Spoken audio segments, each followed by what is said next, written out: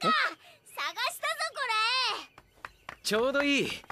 今お前たちのことを話していたんだ。れ俺たち恵比寿先生にどうしても教えてほしいことがあるんだこれ。私に？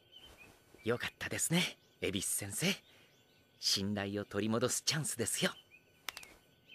君たちまさか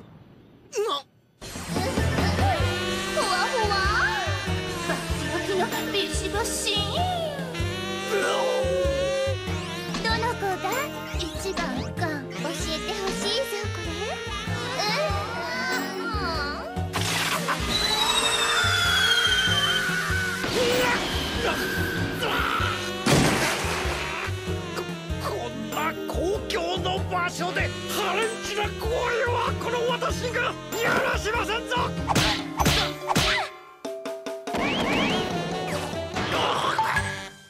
何を考えているんだバカ者が。だって真実の習得にはさらなるエロスが必要だったから。そうなんですか恵比寿先生。わかりかねますですが術とはいわば忍者の隠し玉。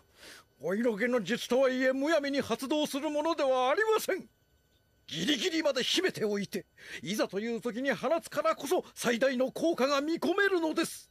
ギリギリまで秘めていざという時に放つ？